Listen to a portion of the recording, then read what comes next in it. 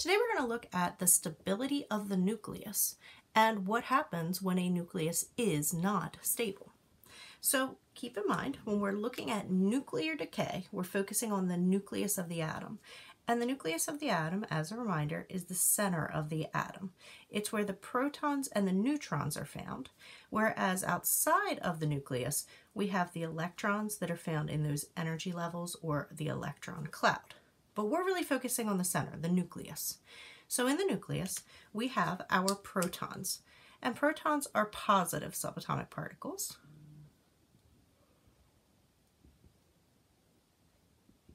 And we also have our neutrons, or our neutral subatomic particles. Now the reason that these are so important is because we want a nucleus that is stable we want the nucleus to be able to sustain itself without kind of blowing apart. But in order for that to happen, then the proton to neutron ratio has to be appropriate. The reason that that is, is because we know that positives, if left by themselves, well, they have like charges, and like charges repel or push away from each other. So if all you had was a bunch of positive subatomic particles, or the protons, then the nucleus itself would be unstable and it would decay rapidly. But if we have just the right amount of protons and just the right amount of neutrons, then our ratio can be fairly stable, which means the isotope can exist for longer. So when we're considering whether our isotope is stable, we're focusing on the number of protons. And the first thing we need to consider is, are there less than 83 protons? 83 is kind of a number where we have drawn the line of stability. Anything with more than 83 protons, that's bismuth and beyond, just has so many positive-positive interactions that the number of neutrons can't overcome them to allow the nucleus to stick together. Now bismuth does have an isotope that is fairly stable. It has a long life or half-life is what we would consider, but it will eventually decay. So 83 and beyond we consider not stable.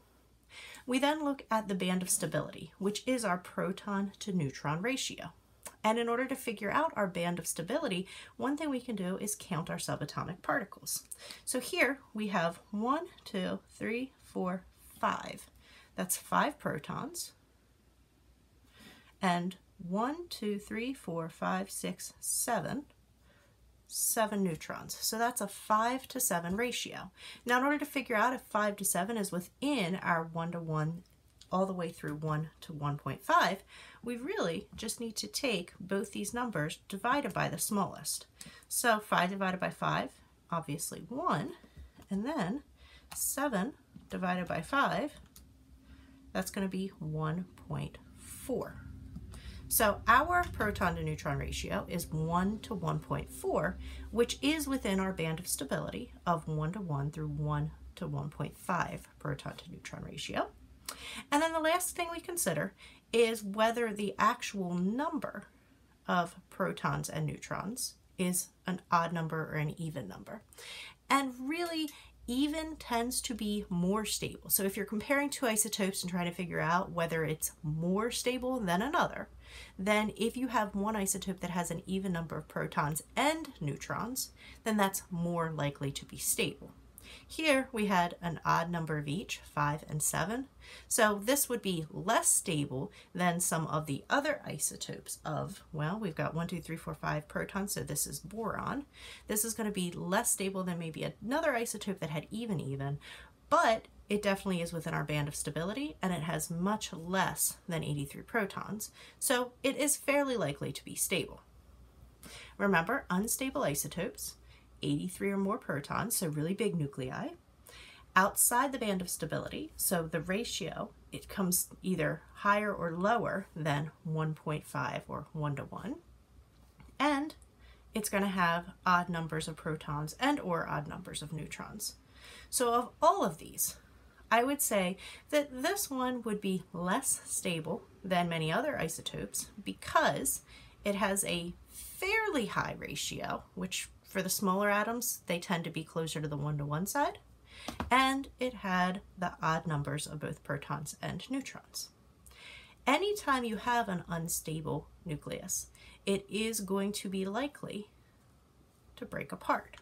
And when it breaks apart, one of these type of particles are the most common to come off, and sometimes it's even more than one. So here we've got our alpha particles.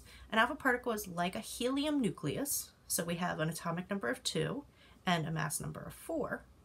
And because it's like a nucleus, it doesn't have any electrons, it is charged, but to be honest with you, you're not going to really track charges when we're writing our statements. You could also have beta particles. Beta particles are kind of like a high-speed electron, so they have a mass number of zero. Their atomic number is negative one, which is really kind of strange, but they are also intermediate in strength, so they're in the middle. The reason that a beta is actually going to have a negative one atomic number goes back to what beta particles are actually going to be. When you have beta decay, what actually happens is one of these neutrons kind of almost like splits into a proton and electron. So a neutron in the nucleus turns into a proton, and then all that's kind of shut off there would be a really high speed electron. So the mass doesn't change because the neutron was already there and now it's just become a proton and the proton number actually goes up by one, which is why the beta particle that got shot off is negative one. And then anytime you have alpha or beta decay, or any of the other types of decay that are in your textbook, you're also going to have some gamma energy that comes off, and this is really, really strong. So if we were thinking in terms of strength, alpha are incredibly weak, which means that if you hold up a piece of paper you're actually going to block alpha particles because they can't penetrate through paper. Beta are in the middle. You would have to hold up a pretty thick like winter jacket, but that would be enough to block beta. The only thing that's going to block gamma radiation are actually things like lead sheets, things that are incredibly dense. These are the particles that would actually interfere with the growth of your cells, which is why gamma is what really would cause cancer and also all kinds of nuclear burns and things. So we're looking at these type of, of particles being the ones that you need to memorize. These are the ones that you have to learn. But there are other types available that if I wanted you to think in terms of any of those other types of particles, I would tell you what the symbol is. So now that we have an idea of the actual strength and the stability of our nucleus, let's look in terms of what we're going to do with these problems. So if I were to give you an isotope, something like americium-235, we're going to look at the nuclear symbol of that.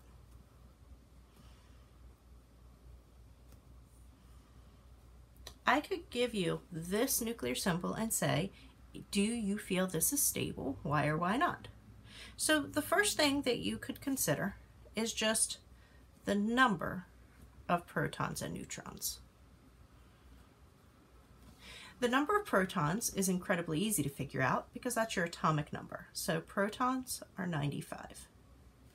To figure out our neutrons, we need to subtract our mass number from our atomic number. So 235 minus 95, that gives us a total of 140. So we have a 95 to 140 ratio. Now, in terms of stability, 95 is much greater than 83. So we already know right out the gate here that this is not going to be stable. This is too large of an atomic number. It's bigger than 83, so it's not stable. The other thing we could look at very easily is whether these are odd and even numbers. Remember, even numbers are more stable. So 140 neutrons, that helps, but because we have 95 protons, that's an odd number. So again, two strikes, not stable. The other thing that we could consider after we look at those two is this actual ratio. If we divide each of these numbers by 95, we get a 1 to 1.47 proton to neutron ratio, which would actually fall in an appropriate spot of the band of stability. This is a heavy nucleus, so we would be wanting to be close to the 1 to 1.5 ratio. But again, since the ratio was the only thing that had, this had going on in terms of stability, we would still say that this is probably not going to be a stable isotope. Let's do one more practice like that. Let's look at bismuth 212. So that's 212 for the mass number, 83 for our atomic number, and then our symbol would just be bismuth, Bi. Is this stable? Well, 83 is the cutoff line. So really isn't going to be stable because it is still so large. But we did say that there was one isotope of bismuth that had a fairly long half-life, only because it was so close. So let's go ahead and look at the other things. We're going to figure out the number of protons. That's 83. And the number of neutrons. Well, 212 minus 83, that's 129. This is an odd number. This is an odd number. So still not looking good for bismuth. Two odd numbers, fairly unlikely that that would be a stable isotope. And of course, the last thing we can do is look at our ratio by dividing both of those by the smaller number. Now we've got a 1 to 1.55 ratio. This is definitely bigger than the 1.5 cutoff in our band of stability, so three strikes definitely not going to be stable. Anytime you have an isotope like bismuth-212 that is not stable, the other thing that I could ask you to do is look at what it forms when it does decay through one of those particles. So if we start again with 212 over 83 bismuth, I could say to you what would be produced if bismuth 212 decays through alpha radiation. And what you would need to do is write me an equation. We use this yield arrow to separate our reactants, the things we start with, and our products, the things we end with. And since I specified that I wanted to look at, say, alpha radiation, you would have to know to write down our nuclear symbol, yields, and then an alpha particle. And you can use the 4 over 2 alpha or the 4 over 2 He since it is like a helium nucleus. I'd be okay either way. Plus, and then what we write here, this is going to be the nuclear symbol of the atom that's left behind when the alpha particle is emitted. Now really you just need to think of this in terms of an equation where our yield sign is like an equal sign. So what plus 4 gives you 212? Or 212 minus what? Or minus 4 gives you what? So 208 plus 4 equals 212. That mass number is now 208. And then similarly, what plus 2 gives you 83? That's going to be 81. And since it's no longer 83, it's no longer bismuth, so you would look up on the periodic table and realize that your symbol is now TL, so that would be thallium. When bismuth 212 decays through alpha decay, you are going to have an atom of thallium 208 as your resulting product. 208 plus 4 is 212. 81 plus 2 is 83. We could do the exact same thing for bismuth, but this time I could have specified that I wanted you to use beta decay. And if I tell you in the problem to use beta, then you're going to have to know that beta is 0 over negative 1 with the beta sign, or again, you could just use an electron since that's what a beta is like, plus, and now we just need to fill in the box. Now this one's a little different because it's a negative 1, so algebraically, what plus negative 1 gives you 83? This actually goes up to 84. And then what plus 0 gives you 212? Well, that stays 212. We look up atomic 84 and atom 84 would be polonium. That's PO. So our resulting nucleus here would be within an atom of polonium. The last thing that I could really ask you to do after you write these equations would be to calculate your ratios of protons to neutrons to see if it actually improved or if it got worse. So remember our 83 212 Bi we said that when we subtracted these and then divided by 83, we started with a ratio of 1 to 1.55. That was our initial ratio. Now we could check each of these ratios and see if they got better or worse. So again, we take 208 minus 81 divided by 81. And for the first one, this ratio now ends up being 1 to 1.57. It actually went even higher. It was already outside the band of stability, and now it's even further from the band of stability. So this one actually got worse. It's less stable than the initial one. Whereas here, if we take 212 minus 84 and then divide it by 84, our new ratio is now 1 to 1.52. Still not quite within the band of stability since the cutoff is at 1.5, but it's definitely moving in the right direction. So this one got better. It became more stable. One last note of clarification for you before we go.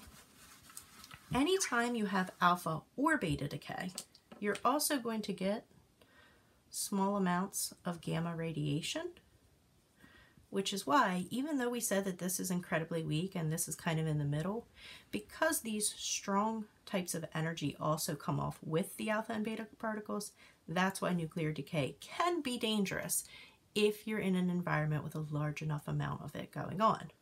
But please keep in mind, you do have some of these types of decay coming off of atoms all around you all the time.